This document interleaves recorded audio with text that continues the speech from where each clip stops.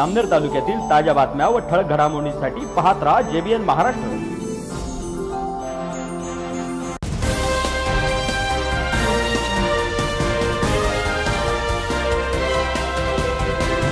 नमस्कार मी मिनल चौधरी. पाहूया काही ठळक वृत्त. राष्ट्रवादी युवक काँग्रेसच्या वतीने आज जामनेर शहरातील सर्व शिक्षण संस्थांना विविध मागण्यांचे निवेदन देण्यात आले.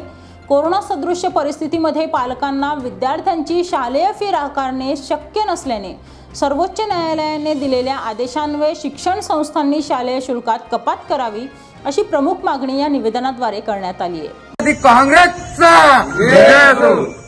राष्ट्रवादी विद्यार्थी काँग्रेसतर्फे आज सगळं शाळा आणि कॉलेजांना निवेदन देण्यात येत आहे.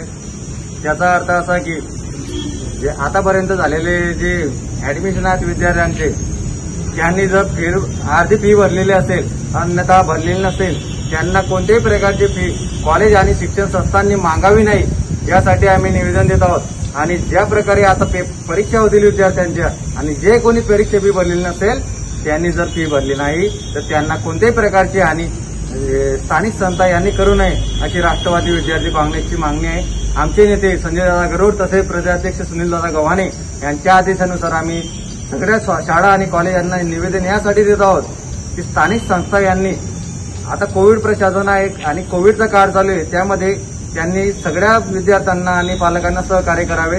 यासाठी आम्ही निवेदन यासाठी देत आहोत की सध्याची परिस्थिती बघता विद्यार्थी आणि विद्यार्थ्यांचे पालक यांची परिस्थिती एकदम जाणीवपूर्वक आणि परिस्थिती हलाखीची असून त्यांनी कोणत्याही प्रकारची आणि कोणत्याही प्रकारची सवलती त्यांना द्याव्या आणि कोणत्याही प्रकारची अशी त्यांना हे करू नये. ते करू नये म्हणजे की असा विषय झाला पाहिजे.